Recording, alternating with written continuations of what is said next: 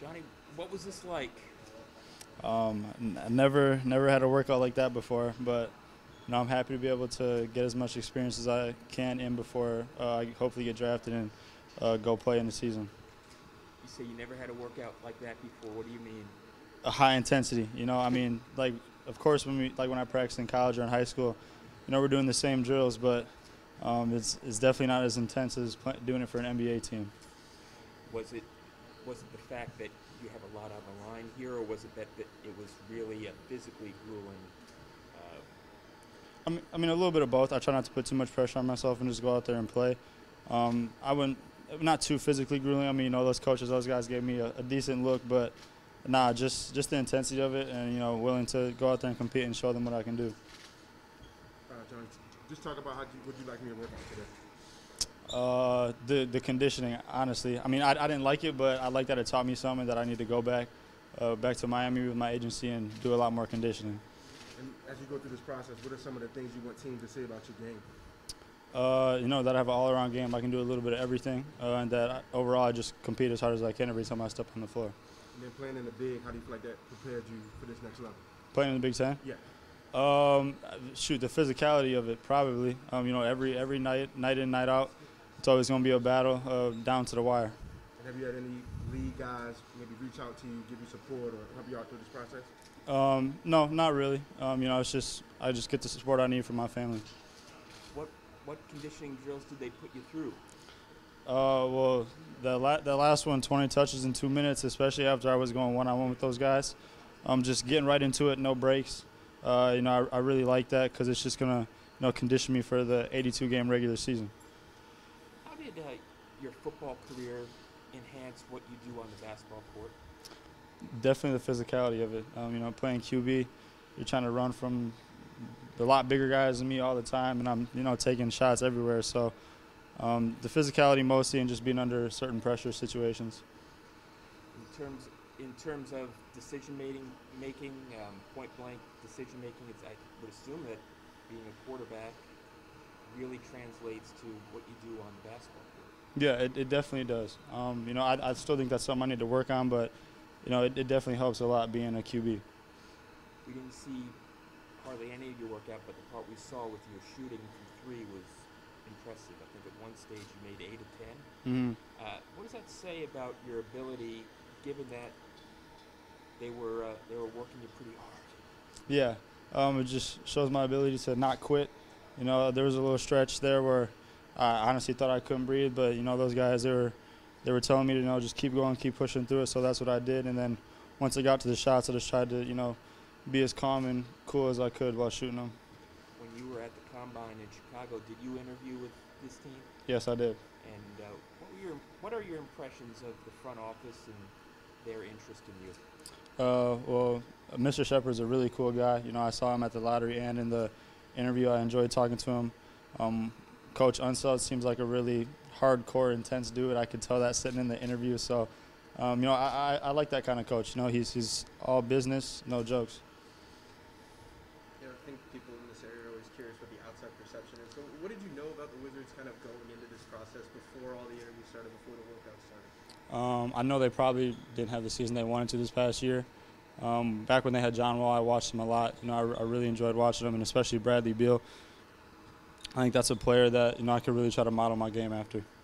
People at Wisconsin have, have kind of talked about competitiveness and drive and stuff like that with you. I, in a workout like this, how do you get that to show through and when it's kind of a limited window there? Uh, just trying to be able to make as many shots as I can, you know, especially when we're keeping track of the numbers.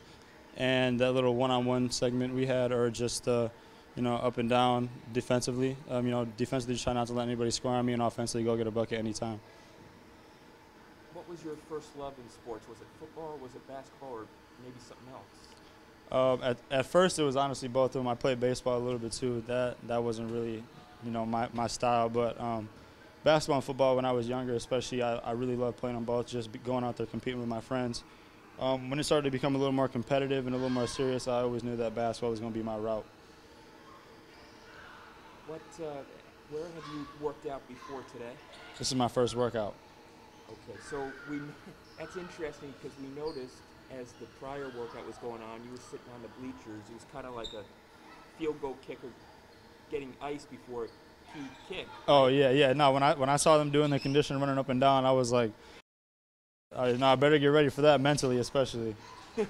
Uh, did, look, you're a seasoned player. You've proven so much, but was there an element of nerves as you're sitting there waiting to have your first NBA solo workout? Definitely. Um, you know, especially with you know the projections and all that right now. You know, I feel like this is a spot I could land at and be able to come in and make an impact right away. So I just want to be able to show the whole front office and the coaches, you know, that I can that I can hoop.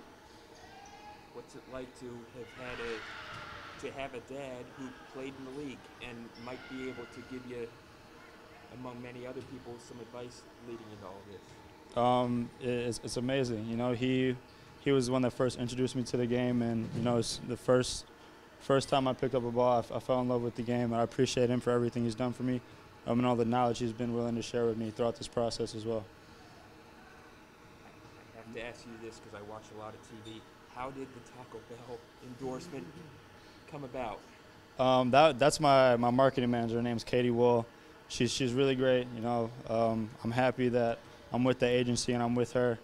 Um, you know, one of the agreements was that I had to wear a purple suit on draft night, which honestly I wouldn't have done. But you know, we, we negotiated a little bit and took that out the deal. So, um, but now overall, I mean, it was a really great experience for me. I had never been never done something like that before, and seeing seeing that commercial air during like the Western Conference Finals of the playoffs was really really huge for me.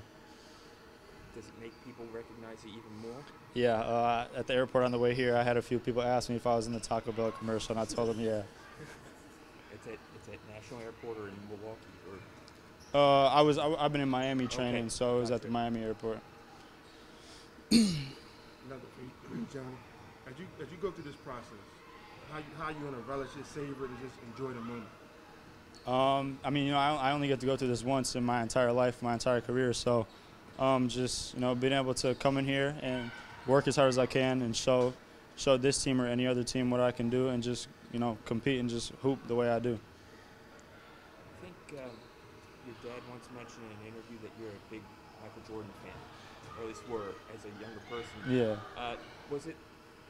Did it go through your mind over the last 48 hours that, hey, you're trying out for a team that he used to play for? I mean, did Mhm. even, I know you got a million things on your mind, but is it?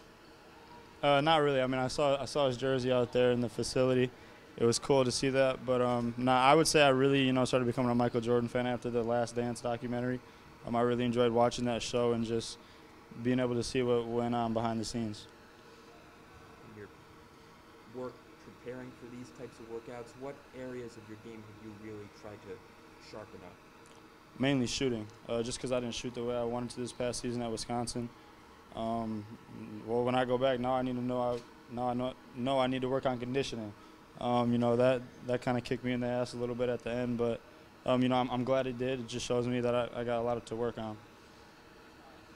You mentioned you're not, you weren't too happy with your shooting numbers. How much of that was affected by the ankle injury you had? Um, the ankle injury was only the last like two or three games of the season.